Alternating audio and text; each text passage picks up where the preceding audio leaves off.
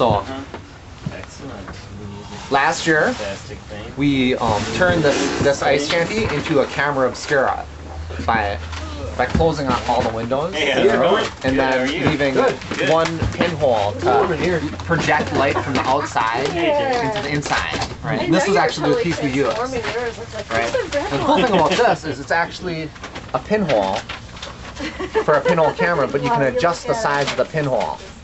Right.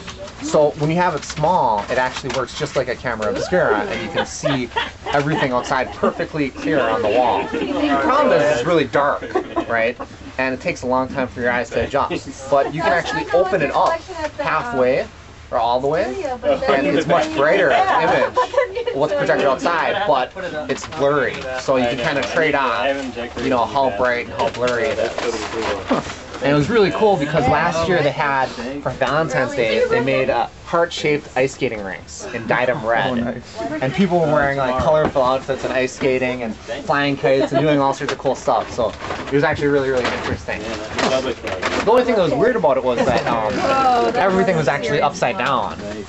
And there was snow on the ground that actually looked like clouds. Right, so it was, it was kind of weird. But excellent. it was cool. What's your name? again? Hi, how's it going?